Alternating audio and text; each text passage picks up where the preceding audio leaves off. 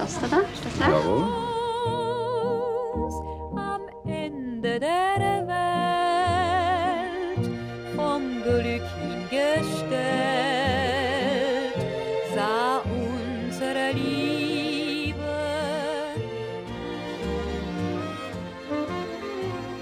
Sie wollen aber nicht mal reden. Mama, ich will mal reden. Frauen, kaum sind sie mal eine Zeit lang am Bildschirm, noch wenn sie schon reden.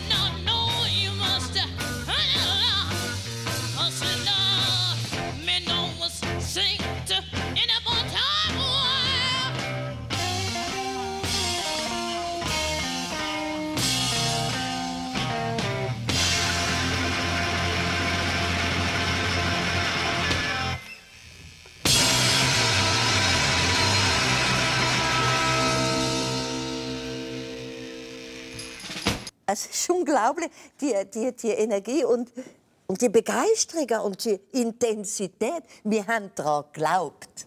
An was hat er geglaubt? An die Revolution. Wir sind überzeugt, dass wir die Revolution jetzt anfangen. Und zwar nicht morgen oder übermorgen, sondern jetzt, sofort. Und das ist genau darum, wieso ich meinen Job so unglaublich gerne mache. Weil ich bin Präsidentin von einer Organisation voller Leute, die genau das glauben. Der Glaube kann genau solche Sachen bewegen. Aber dafür muss er freigelassen werden. Ich habe das jetzt alles hinter mir, während du. Ich bin voll dabei noch, aber, aber weißt du, bist jetzt die, die das vorhin drüber Wir sind dran. Wir sind mega motiviert dran. Die 28-jährige Tamara Funicello und die 74-jährige André Valentin kämpfen beide für die Rechte der Frauen. Ich bin immer noch ein Rebell. André Valentin seit 1968.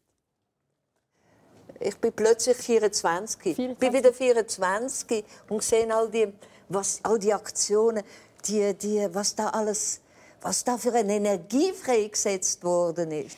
Wir möchten versuchen, Frauen, den Frauen zum Bewusstsein bringen, dass sie in einer unterdrückten Stellung leben. Wie ich aufgewachsen bin. Ja, in einer Familie, in einer multikulturellen Familie schon mal. Mein Vater war Franzose und meine Mutter Tessinerin. Die haben sich getroffen in Genf. Und mein Vater war Musiker, war Solo-Oboist bei dem- im Tonallenorchester. gsi. Das heisst, sie haben in Zürich gelebt und da bin ich auf die Welt gekommen. Zürich in den 40er, 50er Jahren, selbst auch in den 60er, war ein, ein trister Ort. Ja? Ein Ort, wo sehr konservativ und einengend, habe ich das Gefühl.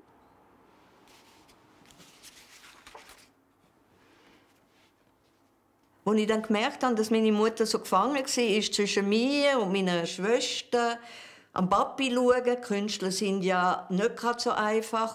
Und dass sie eigentlich nicht wirklich auf ihre Kosten gekommen ist. Mit all dem, was sie hatte, ihre, ihren Fähigkeiten. Ich dachte, das, kann doch nicht sein. Es muss doch etwas anderes geben als nur das. Und ich bin auch sehr lebendig und sehr, immer sehr neugierig. gewesen. Und von Anfang an ist mir eigentlich klar, ich will, ich will die Welt erobern. Ich will leben. Ich will das Leben in den verschiedensten Dimensionen erleben. Und nicht nur als Ehefrau. Und aber auch aktiv an der Gesellschaft teilnehmen und meinen Beitrag leisten. Tamara Funicello leistet ihren Beitrag als Präsidentin der Jungsozialisten der Schweiz. Für ihr Studium hat sie im Moment keine Zeit. Als Vollblutpolitikerin geht ihre ganze Energie in den Kampf für eine gerechtere Welt. Feminismus ist für mich die emanzipatorische Bewegung, die alle Leute kann befreien von Machtstrukturen, die sie dazu zwingt, sich nicht frei zu verhalten. Sie wächst mit ihrem jüngeren Bruder in einem linken Haushalt auf. Den Großteil ihrer Kindheit verbringen sie auf Sardinien, der Heimat ihres Vaters. Ein freies Leben mit viel Zeit zum Spielen und Lesen. Sehr weit weg von irgendwas. Es war mega schön, mega mit dem Nichts.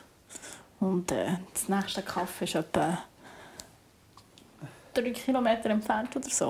Und das war schon ein klein. gewesen. Also sehr, sehr ländlich. In Sardinien war einfach klar, dass wir einfach zu zweit aus äh, die einzigen Kinder sind. Und dann hat man es entweder müssen gut haben zusammen oder gar nicht. So viel gestritten. Ja, Wir aber haben das so viel Streit Zeit, Zeitbeschäft- äh, Zeitvertrieb. gewesen. Aber ich glaube, wirklich nicht gerne haben wir uns nie gehabt, wo wir immer gestritten Ah ja, haben. das schon nicht. Also, wir können fünf Minuten haben wir können Streit haben und zwei Minuten später haben wir, wieder, haben wir uns wieder gerne gehabt. Ihre Eltern sind stark in sozialen Bewegungen engagiert und diskutieren sehr viel mit ihren Kindern. Gerechtigkeit ist so etwas mega Grundlegendes, was wir haben mit, ja, mitbekommen eigentlich von daheim aus. Die junge André Valentin erreicht, was sie will.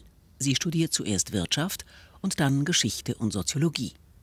Aber vor dem Abschluss kommt ihr das Leben dazwischen. Ja, ich bin von vielen Sachen abgekommen, weil Mai 68, weil dann die 68er-Bewegung gekommen ist. Ja. Und das hat alles über den Haufen gerührt. Unter dem Pflaster liegt der Strand, also suchen wir den Strand. Das ist wichtig. Da habe ich, habe ich das Studium abgebrochen.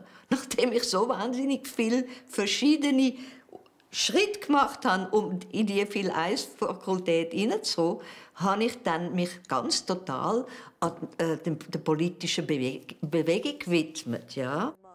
Im Historischen Museum in Bern begegnen die beiden Frauen sich zum ersten Mal. In einer Ausstellung über den Aufbruch von 1968. Ja, vor allem so gegen außen. Schau mal, das ist lustig. Und solche Lampen, die hat es bei uns Gottlob nicht gegeben, aber ich kenne sie. Das ist jetzt, eine, ich würde sagen, eine gut bürgerliche oder? Ausstattung, so wie sie hat können sein in dieser Zeit. Ja? Hat es bei dir daheim so ausgesehen? Nein, ein bisschen raffinierter schon. Ein bisschen raffinierter. Ja. Die Farben, auch die gedeckten, das ist noch interessant. Willkommen in der Spießerhöhle. In der Gesellschaft der 60er Jahre haben alle ihren Platz. Ein Bleistift, Vreni? Also der Generationenunterschied von heute zu, zu denen ist sicher riesig. Also man kann sich das fast nicht mehr vorstellen in den 50er, 60er Jahren, eben, wie konform die Gesellschaft war, wie vorgesehen eigentlich das Leben des Einzelnen war. Oder als Frau, äh, man geht in die Schule, allerdings vielleicht nicht gerade ins Gymnasium, man macht vielleicht eine kurze Ausbildung, äh, man heiratet aber dann und dann schafft man nicht mehr und dann hat man Kind und so geht es dann weiter. Also es war alles sehr genau vorgesehen, sehr vorbestimmt. Und 1968 ist Sex vor der Ehe ein Tabu. Paare dürfen nur verheiratet zusammenleben. Es gilt ein Konkubinatsverbot. Abtreibung ist strafbar. Wollen Frauen einem Beruf nachgehen, müssen sie die Ehemänner um Erlaubnis bitten. Und sie haben politisch keine Stimme.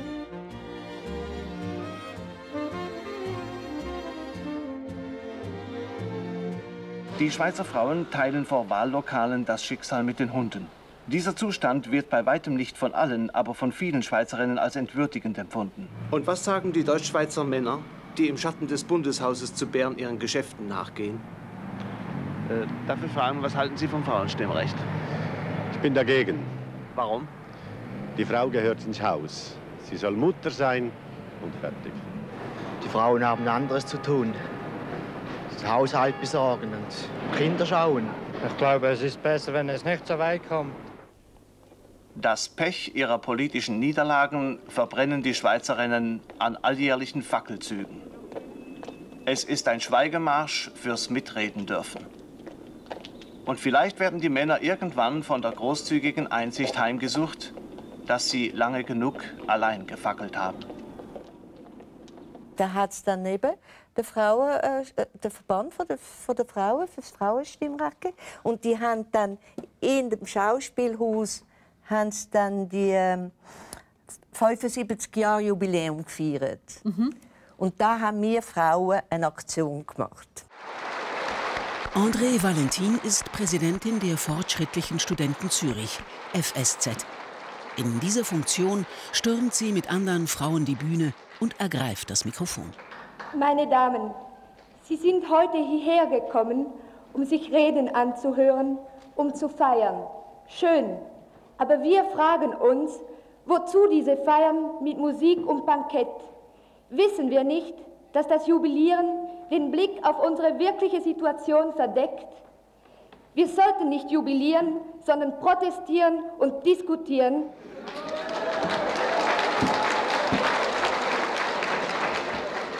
Machen wir einen Anfang, lassen wir die obligate Musik beiseite, die Diskussion ist eröffnet. Und wie haben Sie reagiert?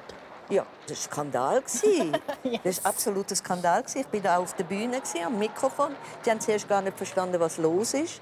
Das ist doch keine Art, eigentlich plötzlich so hereinzukommen. Ich freue mich schon über Ihr Votum, aber es geht, geht hier nicht die Diskussion. Also Jubiläumsfeier. Die Sachen, die wir recht sehen, jetzt gehen Sie vom Platz weg. Sie schlagen nicht Saal um oder den Riesen. Die Polizei kommt, oder? Ja, das haben Sie schon. Das ist nun eine, eine Veranstaltung, die geschlossen ist und jetzt hören wir auf. Meine Damen, meine Damen, ich, ich begreife das nicht. Wenn man Diskussion fordert, wird uns mit der Polizei gedroht. Was, ist denn das, was sind das für Zustände? Ist das nicht berechtigt, dass wir miteinander diskutieren, wenn wir schon einmal zusammensitzen? Und dann hat das Orchester eingesetzt. Und dann ist die Veranstaltung weitergegangen. Und am Schluss bin ich wieder auf die Bühne und dann haben wir angefangen zu diskutieren. Und aus dem ist dann die Frauenbefreiungsbewegung entstanden. So cool. Also voll das hast du gar nicht Aktivismus. gewusst. Aktivismus hoch drüber. Das ist dann, hat sich dort wirklich, das ist Gründungs...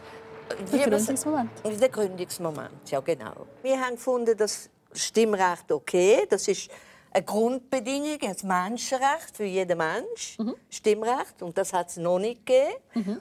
Und, aber unsere Forderungen sind natürlich viel, viel weiter gegangen als nur Frauenstimmrecht. Wie steht es mit der Ausbildung der Frauen? Während jeder heranwachsende Mann eine Berufsausbildung genießt, bleiben zwei Drittel der Frauen ungelernt. Wie steht es mit den himmelschreienden Ungerechtigkeiten in, den, in der Entlöhnung gleichwertiger Arbeit?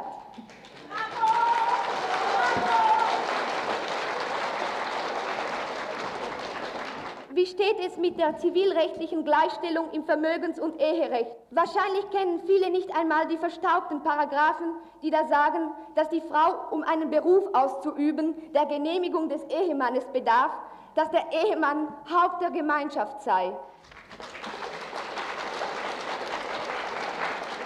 Mit den Protestaktionen im Schauspielhaus und auf der Straße befinden sich die Jugendlichen in der Schweiz in guter Gesellschaft.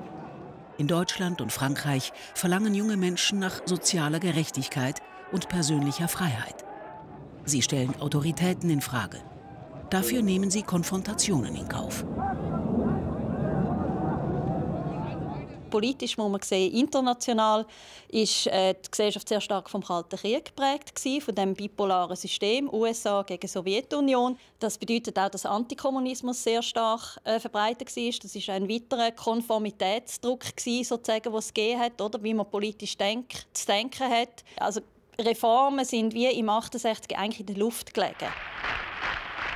In Frankreich gelingt es, große Massen zu mobilisieren. Die Ideale sind von männlichen kommunistischen Ikonen beeinflusst. Und in Deutschland schart man sich um Studentenführer Rudi Dutschke.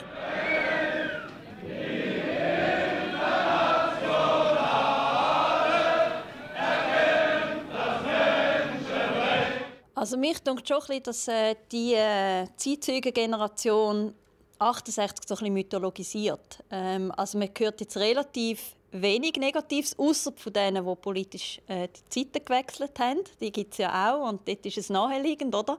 Aber ähm, insgesamt habe ich das Gefühl, dass man vielleicht gewisse Ansichten von, von den 68er propagiert worden sind, heute vielleicht ein bisschen stärker könnte in Frage stellen, zum Beispiel die Heldenverehrung, oder? Also immer die Plakate mit dem Mao oder dem Ho Chi Minh. Ähm, das wird relativ wenig reflektiert, denkt mich jetzt von dieser 68er Generation. Es muss mit der Zeit eben Leute geben, die, die halt ein bisschen zu ihrer Sache stehen. Und wenn sie genug solidarisch sind mit anderen, das heisst, wenn mal genug die Basis vorhanden ist, 1000 Leute in einer Stadt, 1000 junge Leute, 2000, 3000, dann äh, können sie nicht mehr so viel machen gegen eine Musik. Viele Studenten nervt der Aktivismus ihrer Kollegen. Ja, ja, es ist eine Zumutung. Wirklich jeden Tag zwei oder mehr Flugblätter. In der Schweiz sind es gar nicht so viele, die auf die Straße gehen, aber sie sind ausdauernd, laut und oft kreativ. Das wiederum ist interessant für die Medien und entsprechend häufig wird berichtet. Länderverbindend für die Demonstrierenden ist die lautmalerische Verehrung des vietnamesischen Revolutionärs Ho Chi Minh.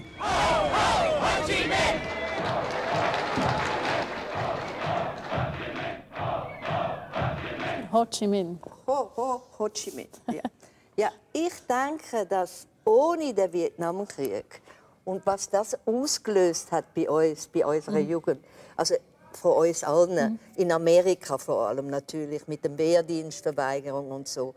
Und die ganze antikapitalistische Kampagne, wir nie die Bewegung gehabt hätten, äh, Mhm. wie wir sie gehabt haben. Das ist wirklich ein, ein wahnsinnig wichtiger Moment gewesen.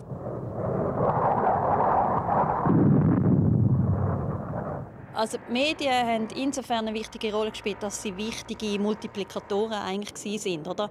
Das erste globale Ereignis kann man sagen, wo wirklich bis in die Stube der Leute eingedrungen ist über das Fernsehen. Also sagen wir, das ist früher noch nicht so gewesen, oder Zweiter Weltkrieg oder so, dort hat noch praktisch niemand am Fernsehen gehabt, oder hat es noch nicht einmal gegeben.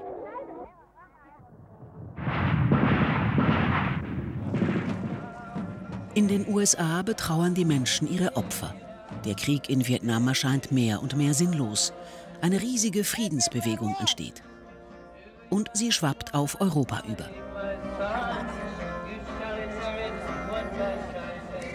Auch in der Schweiz gehen landesweit Menschen gegen den Vietnamkrieg auf die Straße. Ja, das ist eben das, was in unserer Zeit vielleicht auch fehlt. Also, ich meine, eben der Syrienkrieg hat nicht zu dieser Reaktion Ja, genau. Das wollte ich dir fragen. Genau.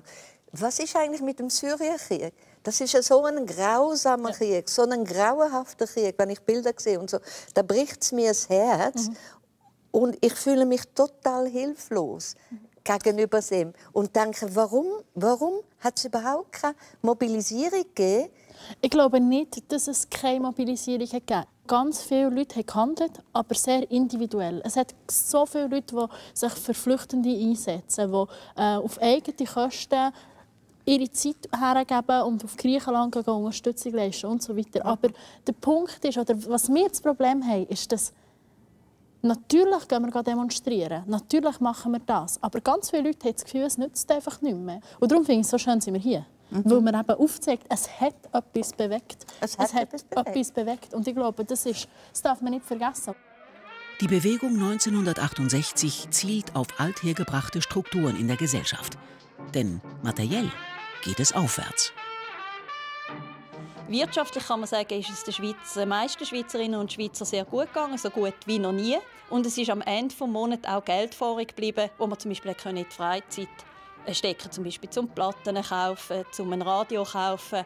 Äh, So Sachen, das ist alles erstmalig eigentlich und hat eben die Generation, wo um die Zeit vom Zweiten Weltkrieg geboren worden ist und eben dann die 68er geworden sind, sehr stark prägt und hat sich sehr stark auch unterschieden in der Lebenswelt, in der Lebenserfahrung von der von ihren Eltern. Die Rolling Stones kommen nach Zürich. Sie spielen eine Musik, die für Aufbruch und Ungehorsam steht.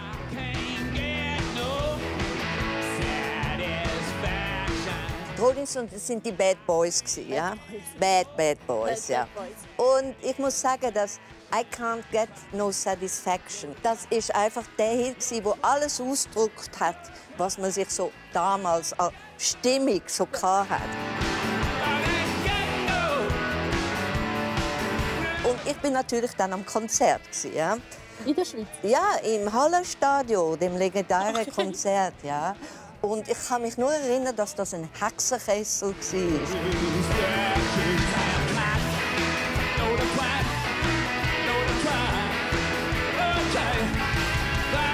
Und eine Energie, unglaubliche Energie und das Lebensgefühl, wie man es halt sonst nicht hat, ja. Aber wir reden ja davon, dass Krawall sind.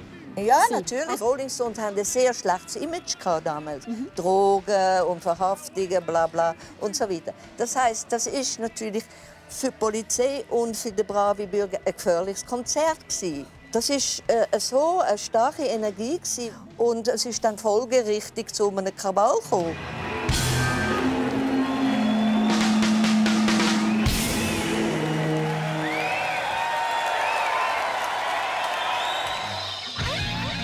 Ein zweites Konzert im folgenden Jahr lässt die 68er-Bewegung wirklich in der Schweiz ankommen. Am sogenannten Monster-Konzert tritt Jimi Hendrix auf und elektrisiert wiederum die Massen.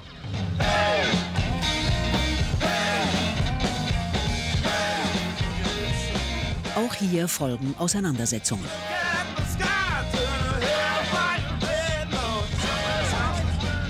Wenige Wochen darauf kommt es im Juni 68 zu den Globus-Krawallen, an denen es zwischen Jugendlichen und Polizisten definitiv eskaliert.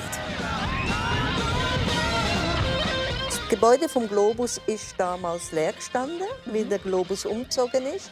Und äh, es ist schon länger eine Forderung im Raum gestanden, der Stadt gegenüber, ein Jugendzentrum zu haben. Ja? Man hat wollte auch autonomes Jugendzentrum. Und dann sind wir auf die Straße deswegen und haben den Globus besetzt. Mhm. Ja. Da du ist- bist dabei gewesen? Ich bin dabei gewesen, ja. Weil das ist eine große Demonstration gsi, wo letztlich dann zu riesigen Krawall geführt hat, zu diesen berühmten Globus-Krawall. Ja. Das ist, äh, ich denke, die extremste Auseinandersetzung in dieser Zeit zwischen der Polizei, den Behörden und, äh, und den Autonomen.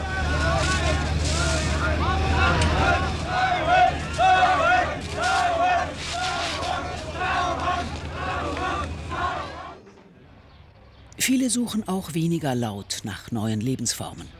Kommunen sind das, wovor die Eltern ihre Kinder warnen. Es geht den Jungen darum, gesellschaftliche Normen aufzubrechen und neue Formen des Zusammenlebens auszuprobieren.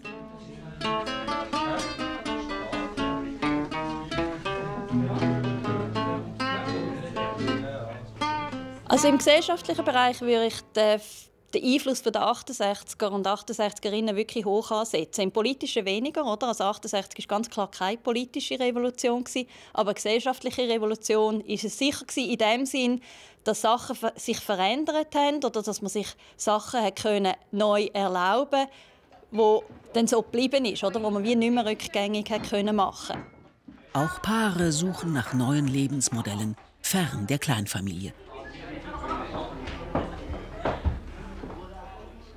Die Gruppe gibt mir als Ehefrau unter anderem die Möglichkeit, mich von dieser Frauenrolle zu distanzieren, die mir von der Gesellschaft aufgezwungen wird. Ich glaube, dass in der heutigen traditionellen Kleinfamilie die Frau sich nicht eigentlich recht kann entfalten dass sie noch viel mehr Kreatives unter anderem könnte bieten könnte, das verloren geht. Und die vielen Impulse, die wir von den anderen hier bekommen, sehe ich nur fruchtbar für eine Zweitbeziehung. Also ich sehe auch viel Vorteile darin, dass wir in einer Gemeinschaft leben als Ehepaar. Wir lernen eben, dass wir das, was wir praktizieren, zum Beispiel Zweierbeziehung, können in Frage stellen, dass wir uns immer wieder müssen fragen wie viel Sinn hat das und in welcher Form ist es gültig. Ein weiterer Vorteil sehe ich drin, dass dadurch, dass wir mit anderen zusammenleben und anderen nachstehen, uns jedes Mal wieder frei müssen entscheiden füreinander oder eventuell auch gegeneinander. Frauen haben einfach innerhalb von der 68er-Bewegung recht schnell mal gemerkt, dass sich eigentlich in Bezug auf sie selber nicht viel ändert. Also die 68er-Bewegung hat ja sehr radikale Forderungen gehabt, radikale politische Forderungen. Sie wollten die Gesellschaft verändern, sie wollten Klassenkampf betreiben und die Frauen haben relativ schnell mal gemerkt, dass das im Vordergrund steht.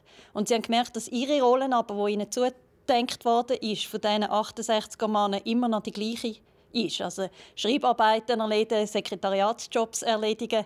Äh, und dann gegen das haben sie sich eigentlich aufgelehnt und gesagt, nein, für uns ist zwar der Klassenkampf und die, und, äh, die Veränderung von der Gesellschaft auch wichtig, aber was wir in erster Linie wollen, ist äh, eine andere, eine Besserstellung von der Frau. Immer mehr Frauen reagieren auf diesen Missstand.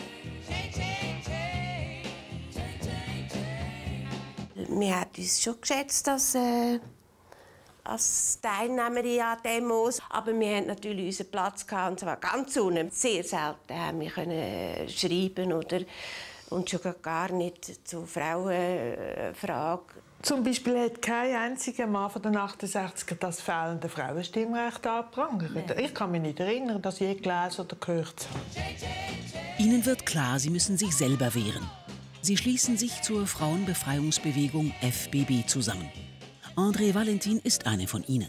Fräulein Valentin, Sie haben mit einigen Freundinnen die Frauenbefreiungsbewegung gegründet. Von was wollen ihr die Frauen befreien? Wir möchten versuchen, die Frauen, den Frauen zum Bewusstsein bringen, dass sie in einer unterdrückten Stellung leben. ganz konkret, wie stellen Sie sich Ihre Aktion eigentlich vor? Ja, wir müssen unterscheiden zwischen provokativen Aktionen und Aktionen, die mit Inhalt gefüllt sind. Nicht? Provokativen Aktionen, darunter verstehe ich zum Beispiel eine Aktion, wo man eine Ausstellung besetzt, eine Ausstellung über die Frau, wo die traditionellen Vorstellungen von der Frau weiter vermittelt. Nicht? Dass man die Aktion einfach macht, die Ausstellung besetzt mit dem Ziel, die äh, Ausstellung zu schliessen. Und das hat eine Schockwirkung auf die Öffentlichkeit nicht. Ah, da bin ich ja. Lustig. Ich glaube, ich bin damals genau, genau aus dem gleichen Grund mhm. da gestanden mit dem Mikrofon wie Tamara heute. Nur unter anderen Bedingungen. Aber es ist um die, sind um die gleichen Forderungen gegangen. Ich wollte, dass Frauen die gleichen Möglichkeiten haben gesellschaftliche Möglichkeiten haben die Männer. Mhm. Aber nicht unbedingt, dass sie jetzt den Mann nachmachen, mhm. sondern dass sie ihre frauenspezifische Anliegen wirklich einbringen können und auch gehört werden. Mhm. Ich kann mich erinnern, dass kurz nach der Gründung der FBB, nach der Schauspielhausaktion, mhm. haben wir sehr schnell postuliert, wenn nicht sogar im Schauspielhaus selber, dass wir einen Marsch auf Bern machen wollen, um unsere Forderungen einzubringen. Und das ist nicht nur um Stimmrecht gegangen, sondern allgemein um die Situation der Frau in der Schweiz. Wir Schweizerinnen hier auf dem Bundesplatz fordern das volle Stimm- und Wahlrecht auf eidgenössischer und kantonaler Ebene. Die Gleichstellung der Geschlechter ist eine wichtige Voraussetzung für die Verwirklichung der Menschenrechte. Habt Vertrauen mit den Frauen. Frauenrecht, Menschenrecht. Jetzt eine ganz realistische Losung. Steuern zahlen, aber auch an die Wahlen alle miteinander. Steuern zahlen, aber auch an die Wahlen.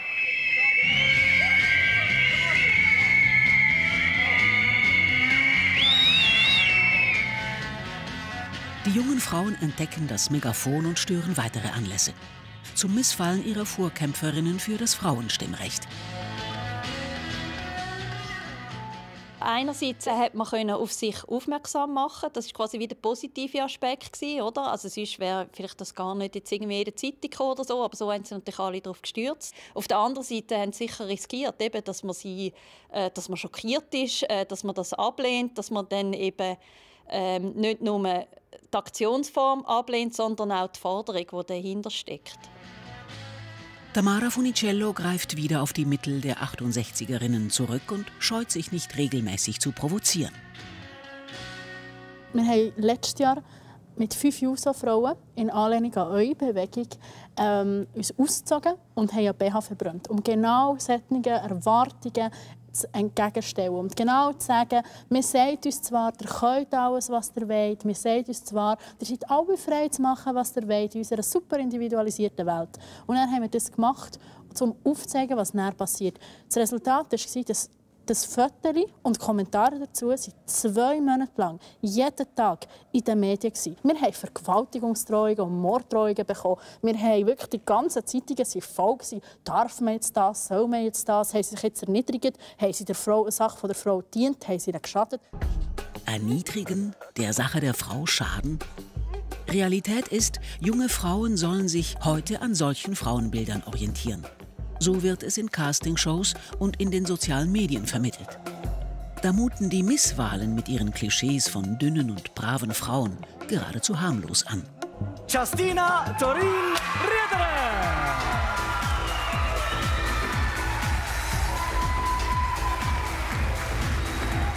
Ich finde, es ist etwas, das doch eine Tradition hat und eine Geschichte hat in der Schweiz mittlerweile und was vor allem als Karriereleiter sein kann. Also so wie ich es erlebt habe, haben viele Schweizer Freude an einer Miss Schweiz. Ich denke, es gehört zu der Schweiz. Ich finde es auch sehr harmlos und es schadet ja niemand und darum ist es doch etwas Schönes. Misswahlen gibt es in der Schweiz seit den frühen 60er Jahren. Die FBB-Frauen reagieren 1968 kreativ darauf. Als wir dann angerufen haben und gesagt Annabelle macht auf einem Schiff eine Schönheitskonkurrenz, das ist ja furchtbar, da werden eben die Frauen wieder in so ein Rollenverhältnis in du gang du dorthin und versuchst das äh, zu sprengen, also einen Bewusstseinsprozess in Gang zu bringen. Und dann bin ich dort gegangen, brav mit einem verrückten Kleid und habe dann tatsächlich wahrscheinlich wegen dem Kleid den dritten Preis gemacht. Ich habe dann geschumpfen über die Schönheitskonkurrenz und wie das ist, wie man sich wie eine Kuh vorkommt und am Schluss ist mir dann so spontan rausgerutscht, der äh, der Preis, den ich gewonnen habe, das war ein Kleid von der Modissa. Der wird versteigert öffentlich auf der Riviera, wie vom Select, und das Geld geht an einen Anti-Baby-Pillen-Automat auf dem Bellevue.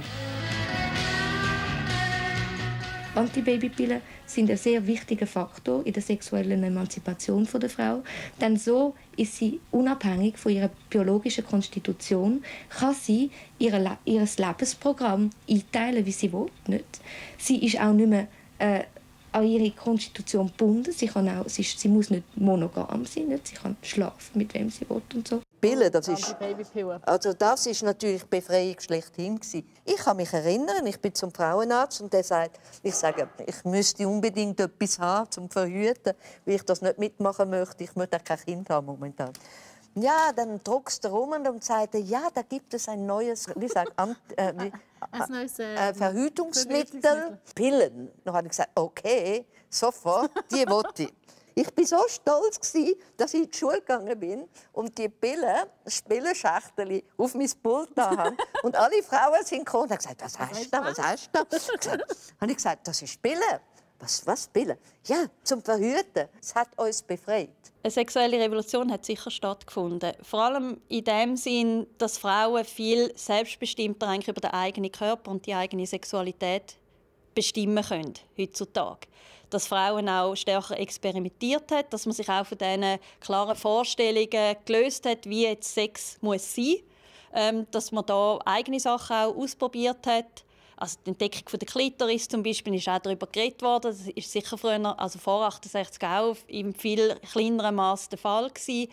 Und in dem Sinn ja, ist sicher Sex oder eine sexuelle Beziehung heute sehr anders als äh, in den 60er Jahren. Spekulum, zum Beispiel mhm. Spekulum, mhm. ganz wichtig. Wir haben uns selber untersucht, sogar, mhm. haben uns in die Vagina hineingeschaut. Wir wollten unseren Körper erkunden, Kennen. ja, ja. kennenlernen, ja. kennenlernen, genau.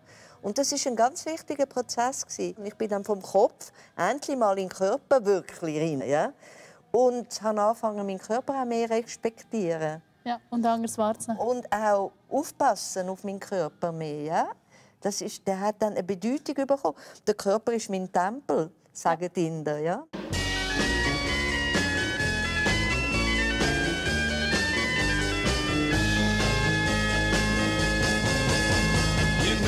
it would be untrue. You know that I would be a liar if I was to say to you, Girl, we couldn't get much higher.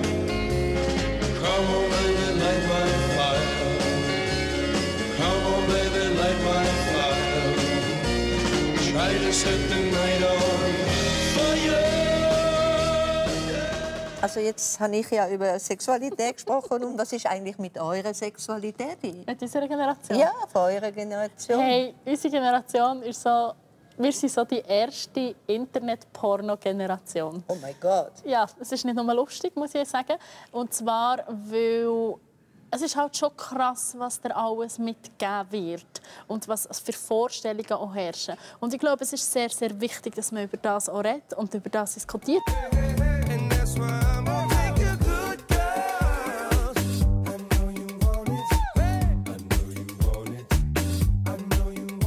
Ja, und du glaubst, dass eure Generation sexuell, sagen wir, freier ist als zum Beispiel euch? Nein, nein, wir wachsen auf mit einem Bild, wie der Sex funktioniert, das mega klar ist, mega gewalttätig, mega penisorientiert und mega heftig. Das ist das, mit dem, mit dem wachsen wir wie auf. Wie ist es mit dem Gefühl? Vielleicht kann ich dir auf das die Antwort in 50 Jahren geben. Im Moment weiß ich es, weiß ich es noch nicht. Ich glaube, dass, ich glaube, dass also, es gibt heute Apps, wo du dich kannst treffen mit Menschen, einfach nur zum Sex haben.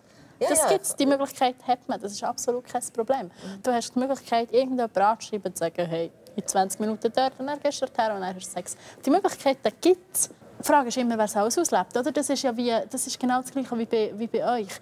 Was mir aber Sorgen macht, sind die ähm, Bilder von Sexualität und die Bilder von, Lebens äh, von, von, von Liebe, die einem so eingepflanzt wird. Oder das, wo man das Gefühl hat, was man machen sollte, mhm. ohne dass man eigentlich weiß, dass ich das eigentlich gerne möchte. Das ging offenbar auch anderen 68erinnen so. Wir hatten ja dann noch Parolen, wer zweimal mit dem gleichen Pen gehört schon zum Establishment. Ganz am Anfang unserer Beziehung hatte ich ein paar Freunde parallel. Und äh, für mich ist das eigentlich normal gewesen. und ich habe irgendwie mich einfach als freie Person gefühlt. Ich kann das machen, wenn ich will. In den wenigen Wochen Kommune, die ich erlebt habe, hatte jeder sein Zimmer. Abends stellte sich immer die Frage, wer schläft bei wem. Paare waren verboten. Jeder sollte mit jedem schlafen, mit jedem Sex haben. Für mich war das nichts.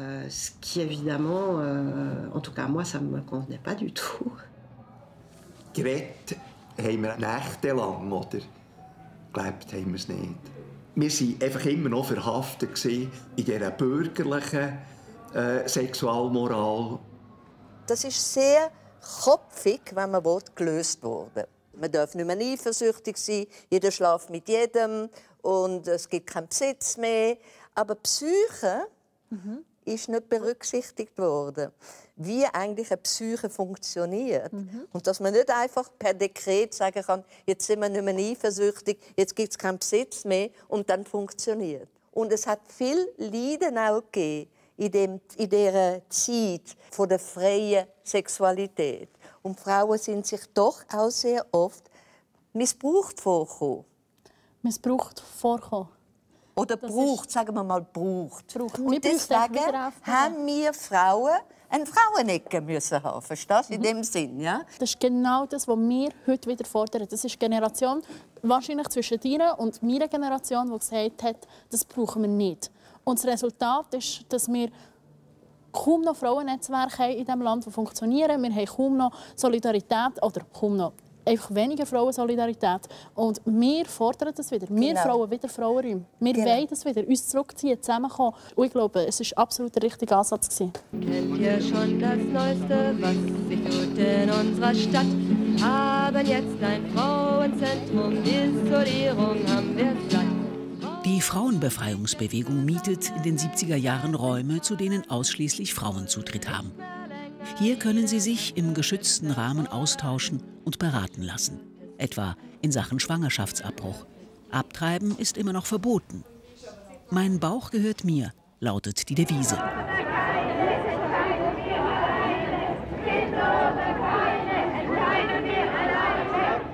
Ihre neuen Lebensformen und gesellschaftlichen Errungenschaften wollen die Frauen auch gesetzlich verankert haben.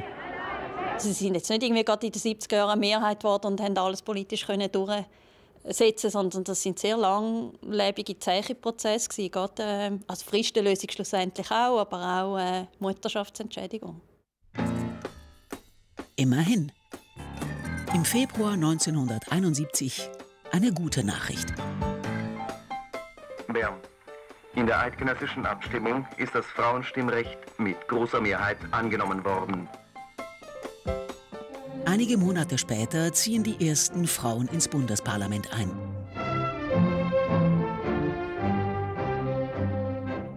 (1981) wird mit dem Gleichstellungsartikel die Gleichberechtigung von Frau und Mann in der schweizerischen Verfassung verankert. Die rechtliche Macht des Mannes über seine Frau soll ein Ende haben, Darum ist ein neues Eherecht geplant. Widerstand kommt von rechts. Wir glauben nicht, dass das Schweizer Volk dieses ehe- und familienfeindliche Gesetz, das Ehe und Familie völlig umkrempeln will, annehmen wird. Noch immer halt die alte Melodie in vielen Köpfen nach haben uns unsere Eltern gelehrt. Die Frau gehört an den häuslichen Herd. Der Mann ist's, der die Frau ernährt, die Frau gehört an den häuslichen Herd. Trotzdem tritt 1988 das neue Eherecht in Kraft. Allerdings erst 20 Jahre nachdem André Valentin dies in ihrer Rede im Schauspielhaus gefordert hatte. Ab jetzt sind Frau und Mann vom Gesetz her gleichberechtigt. Ich denke, es ist viel passiert, wenn ich sehe, was Frauen, junge Frauen, mit was für einer Selbstverständlichkeit sie bestimmte Sachen einfordern, auch beruflich oder so, mhm. oder was sie für Beruf, äh, Berufslaufbahnen einschlagen. Mhm. Da kann ich nur träumen davon.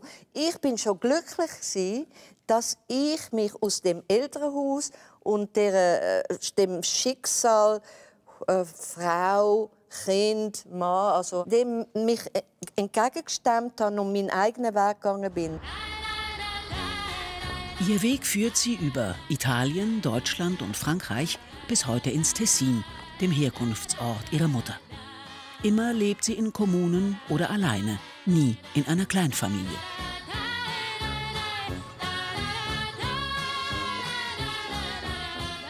All meine Entscheidungen, die habe ich nicht erzwungen über eine intellektuelle Reflexion, sondern das Leben hat mir immer Begegnungen organisiert irgendwie aus diesen Beziehungsgeflecht, weil ich mitten im Leben gestanden bin und mich dem nicht verweigert habe, ist dann mein Weg entstanden.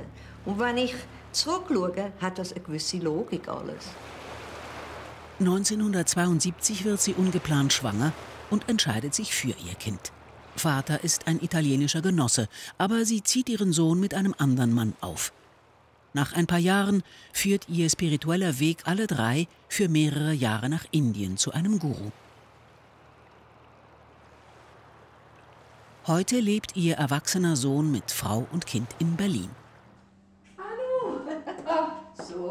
Jetzt ist sie 74, Großmutter und lebt seit ein paar Monaten in einer Hausgemeinschaft. Zusammen mit ehemaligen Weggefährten aus Indien, einem Paar. Marco war der, Marco war der Super-Hippie. Als wir uns kennengelernt haben, wir hatten beide kein Geld, aber wir waren beide irgendwie super happy. Ja, genau, ein Leben in der Unsicherheit. André und Marco waren früher auch einmal ein Paar. Wir waren mal zusammen. Es war intensiv. Jetzt sind wir beste Freunde. Warum es jetzt anders ist, die Hormone treiben uns nicht mehr so. Verstehst du? Ja. Diese Eifersucht und all das, das war natürlich in der Zeit, wo die Hormone auch sehr aktiv waren in alle Richtungen. Wir, wir haben das ausgelebt. Das war auch richtig so, finde ich. Die letzten Jahre hat André alleine in Frankreich gelebt und es genossen. Das hat sich jetzt geändert. Irgendwann mal reicht es mit dem Alleinsein, ja. Und es gibt so viele Menschen, Singles, alt oder jung, die alleine sind. Da ist Einsamkeit, ja. ja. Und es gibt ja furchtbare Berichte, wo die Leute dann tot sind und niemand. Und so, so möchte ich nicht enden. So wie sie ziehen sich viele aktive Kämpferinnen von 1968, wenn sie älter werden, auf den inneren oder spirituellen Weg zurück. In den 80er Jahren schließen Frauenbuchläden und andere Frauenräume wieder.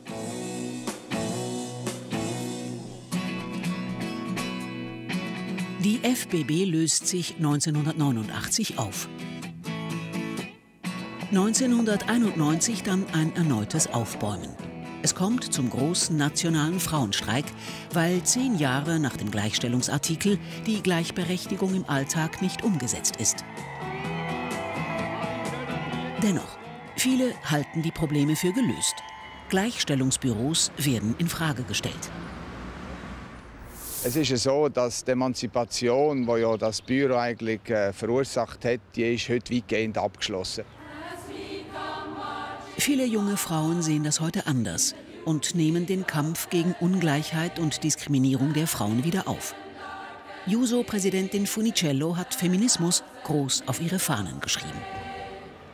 Ich glaube, Feminismus ist ein Weg. Ich glaube, Feminismus ist nie ganz zu Ende. Und dass Frauen halt am meisten leiden unter Sexismus, das liegt wie auf der Hand.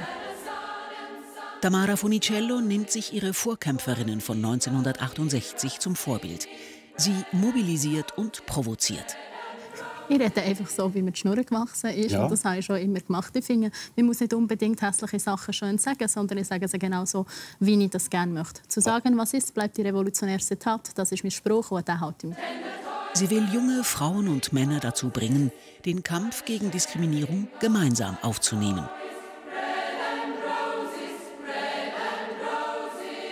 Wenn ich mir vorstelle, mit welcher Frechheit ich herstehen und Forderungen stellen kann, genau das, das hat man vorher nicht können. Das, das ist wirklich das ist eine Freiheit, die uns gegeben wird. Nichtsdestotrotz werde ich, genau weil ich eine Frau bin, nach wie vor viel mehr angefeindet als meine männlichen Kollegen. Ich werde nach wie vor viel anders in Szene gesetzt, diskutiert und so weiter. Auf einer ganz anderen Ebene. Und all die Frauen, die wie sagen, ähm, ich bin missbraucht worden, ich bin Opfer worden von sexueller Belästigung, ist ja eigentlich ein Thema, das heute wieder unglaublich aktuell Absolut. ist. Oder? Unglaublich aktuell. 2016 rückt die Diskriminierung wieder ins öffentliche Bewusstsein. Der Grund? Der heute amtierende amerikanische Präsident äußert sich in skandalöser Abschätzigkeit über Frauen. Weltweit gehen Menschen auf die Straße. Auch in Zürich mobilisieren sich wieder mehrere tausend Frauen und Männer. Das gab es seit den 90er Jahren nicht mehr.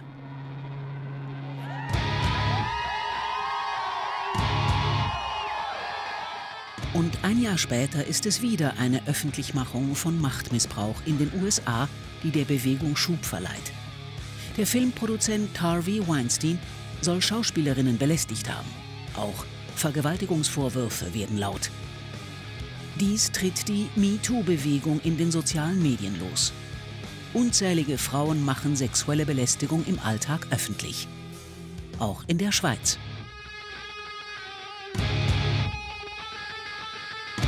Machtverhältnisse sind die gleichen und das heißt, äh, wir müssen weitermachen. Es hat noch nie eine herrschende Kraft ihre Macht freiwillig abgeben. Es ist noch nie passiert, es wird noch nie passieren. Und genau darum, Feminismus heisst, immer einen Schritt zu weit zu gehen. Ich glaube, eine andere wichtige Frage ist, ich sehe ja, dass die Männer auch Opfer von dem ganzen Druck und ihrem Rollenverhalten und all dem, was sie ihnen aufgezwungen worden ist. Mhm. Das, sie leiden auch darunter. Absolut. Absolut. Das heißt, es ist wirklich, eigentlich Mann und Frau sollten wirklich die Sachen hinterfragen. Es ist eine Sache von Bewusstseinswandel. Mhm. Ohne Bewusstsein über etwas kann sich nichts wandeln. Ja?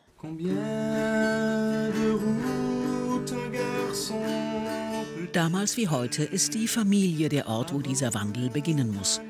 Sobald Kinder kommen, ist es mit der Gleichberechtigung oft vorbei. So steht beispielsweise Schweizer Männern bis heute kein Vaterschaftsurlaub zu. Und Männer reduzieren selten ihr Arbeitspensum, nachdem sie Väter geworden sind. Trotz Gleichstellungsgesetz verdienen Frauen bis heute weniger als Männer. Und in den Geschäftsleitungen großer Schweizer Unternehmen sind gerade einmal 7% Frauen. Die 68er Frauen haben die Gesellschaft verändert. Jetzt gilt es, sie gemeinsam mit den Männern weiterzudenken.